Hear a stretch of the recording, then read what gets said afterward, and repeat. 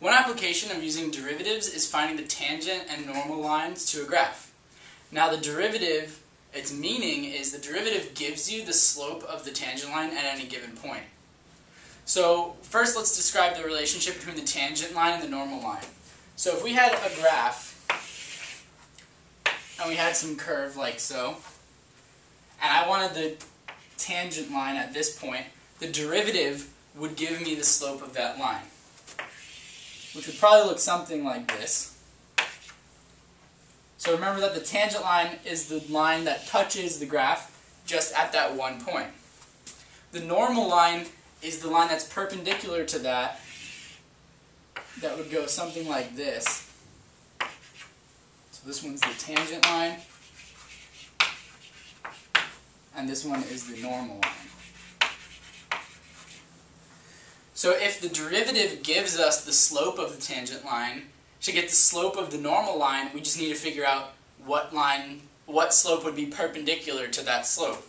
Remember that for two slopes to be perpendicular, you have a slope m. Perpendicular would be negative 1 over m, which is the negative reciprocal. So if you're looking for a normal line, you're going to do the negative reciprocal. Many questions are going to ask you to find the equation of the normal line to a graph. So first you need to take the derivative and find out that slope. That slope is going to be the slope of the tangent line. Then you do this to find the slope of the normal line. Now to find the equation of a line, not only do you need a slope, but you need a point. So you need this point, let's call this coordinate x, y. So many times the problem will tell you, let's find the tangent line at x equals a number, and then you know the x. So all you need then is to find the y, and remember that finding the y is as simple as plugging that x in to your original function. So let's do a quick example. So let's say we have the function 3x squared minus 2x plus 1 and we were asked find the equation of the normal line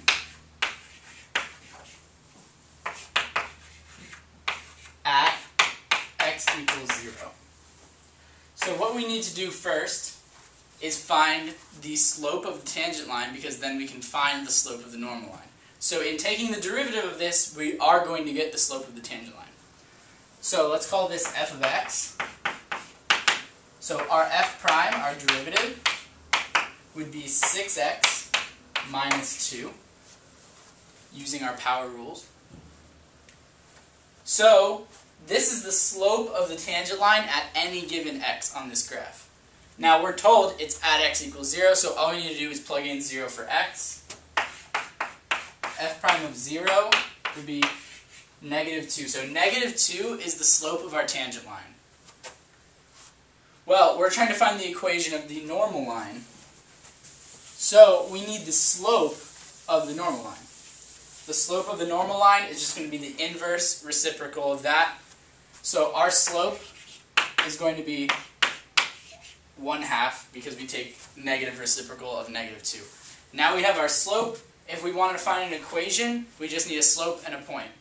Well, we know that x equals 0 was the x. All we need is the y, and to get the y, you just plug that right back into your function. You can see here if we plugged in 0, we would get 1. So we have the m equals 1 half, and our point is at 0, 1. All you need to do now is make a line using that. And you can use point slope formula or y equals mx plus b to do so. I'll use the y equals mx plus b.